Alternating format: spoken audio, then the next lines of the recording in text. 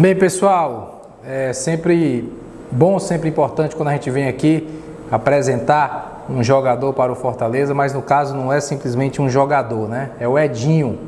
É o Edinho que é nossa, faz parte da nossa história, nasceu para o futebol aqui no clube, desde as categorias de base, Copa São Paulo, foi para o elenco profissional, e naquela época eu estava ali na arquibancada vibrando por ele, torcendo por ele.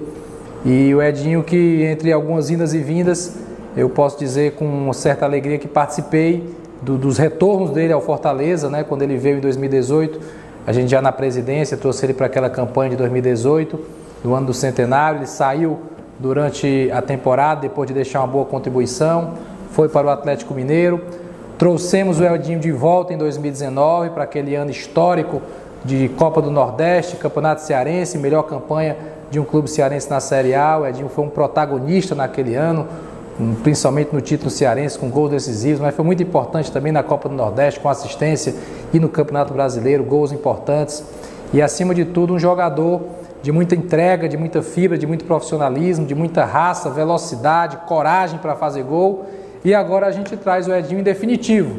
Né, o Edinho foi comprado pelo Fortaleza e tem contrato até dezembro de 2024. Então a gente vai ter tudo isso aí à nossa disposição por muito tempo. Um atleta extremamente identificado com o clube, tricolor.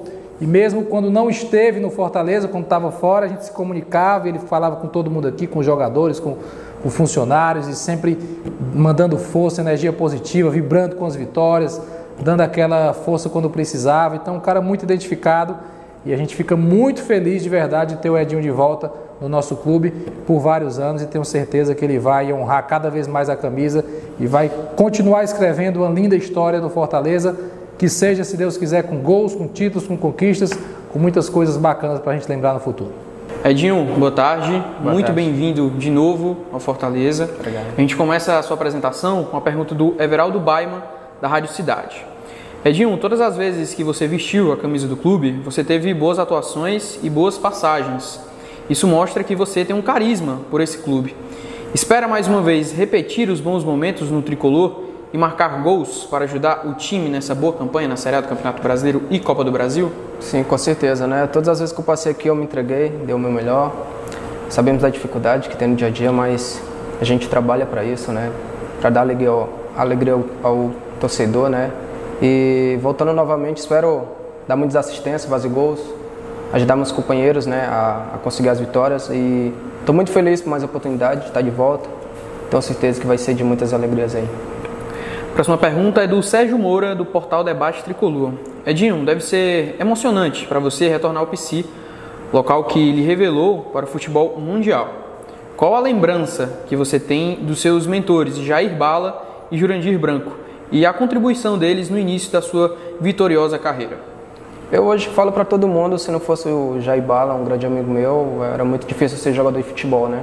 Ele foi um cara que me deu total apoio, é, a gente viveu muitas coisas, ia me deixar de treino de bicicleta, andamos juntos a pé para ir para treino, então ele foi um cara que foi o principal para me ser jogador de futebol, né?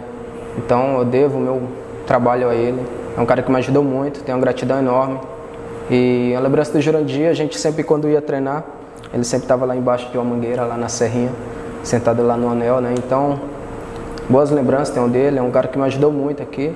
Me lembro, eu não tinha uma chuteira para treinar, foi ele que me deu uma, uma chuteira da Puma, me lembro até hoje. Ela tinha um cadastro na lateral, então tenho grandes lembranças e eles foram duas pessoas que me ajudaram muito no começo, então sou grato a eles por tudo. Próxima pergunta é do Eduardo Trovão, do Futebolês. Edinho, você retorna o time vence, você faz aniversário no dia seguinte. Que retorno, hein? Que retorno, né? É, e foi dia dos pais também, né? Eu sou pai, fiz aniversário e com uma vitória muito incrível. E uma semana de classificação também na Copa do Brasil, então foi uma semana incrível. Ainda não tive tempo para estrear, mas eu creio que tá no, já já vai acontecer. Espero dar o meu melhor. Então, estou muito feliz pelo crescimento do, do clube no, nessa temporada. Então, a gente só tem a ganhar com isso. O Edmilson Barbosa, da Rede Multi, ele pergunta o seguinte: Edinho, você já conhecia o trabalho do Juan Pablo Voivoda? É, na verdade, eu vi só pela televisão mesmo. Eu sou um torcedor, então assistia muitos jogos. Via um time com gana de vencer, um, um time que quer ganhar a todo instante. Então, é, chegando agora, né? Pouco tempo, estamos conhecendo aos poucos. Então eu tenho certeza que eu só tenho a ganhar com isso no meu crescimento no futebol. Para a gente finalizar, Edinho, a gente recebeu a pergunta do Lindenberg Barbosa, ele é torcedor online e enviou sua pergunta pelo aplicativo oficial do clube. Levando em conta, Edinho, a sua última passagem pelo Fortaleza, o que você pode destacar que mudou daquela época para hoje em dia? Principalmente a estrutura, né? Eu saí, então aconteceu muita coisa né? nesse período de um ano, um ano e meio. Então eu vi hoje como mudou né, a parte. Eu que comecei aqui desde o começo, vi muitas coisas aqui, né? Então ver o crescimento do clube hoje, a gente só fica muito feliz por isso. Então um dos principais é a estrutura que mudou bastante. É isso, Edinho. Muito obrigado, bem-vindo mais uma vez. Obrigado.